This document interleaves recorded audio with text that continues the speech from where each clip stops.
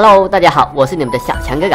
之前小萌为了抽跑车，弄了很多武器配方，但玩了一会儿就说不想玩了。然后我偷偷上他号，把装备卖了一大半，赚了很多金条，所以拿他一点不过分嘛。我也不贪心，就拿了两百万而已。嘿嘿，咱们也是有金条的人啦。很早之前就想要进阶职业了，小小的二十万还想把我难住了。可惜我的等级不够，只能升一级，生命值低于六十，增加百分之三的伤害，实力提升一点，拿到幸运之星的机会就大点。打了这么久副本，说什么随机选择都是骗人的。只要输出第一，幸运之星肯定是你。反正我到现在都没看到有人第二拿了幸运之星。给大家看一下我这周的战绩。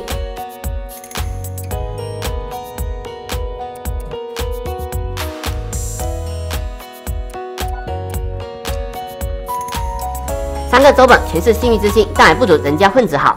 好歹别人还拿了一个蓝色配件，风姐至少能拿到十五个材料。我这个卖力打输出的，拿了些别人不要的。这个幸运之星除了每日副本还有点用处，能让你多几个机械材料。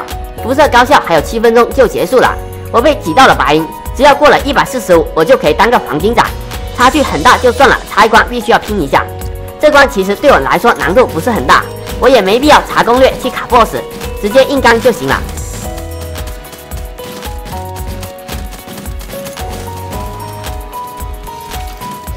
打到只剩下一格血后，我才发现不对劲。我的护甲和护盾则没耐久了，我留了六十耐久，没想到还是不够用，可惜了，差一点点就能升到黄金。来加一场买点装备，心疼我的金条。一个普普通通的护盾就要我十万，平时都是六七万，现在涨了这么多，咬咬牙把它买了，亏点就亏点吧。好家伙，一个四星金徽就要我十四万，平时一个八万都没人买，现在涨了一倍，不买了，等高效过去低点再买。虽然咱们现在荷包鼓了，但也不能随便乱花。黄金也就多几十长夜，早知道不打了，害我现在连个熔岩密窟都打不了。没办法，只能穿着白衣打白术了。脆是脆了点，但可以让队友去扛伤害，咱们躲在后面打输出就行了。好了，这期的视频就先到这里，我们下期见，拜拜。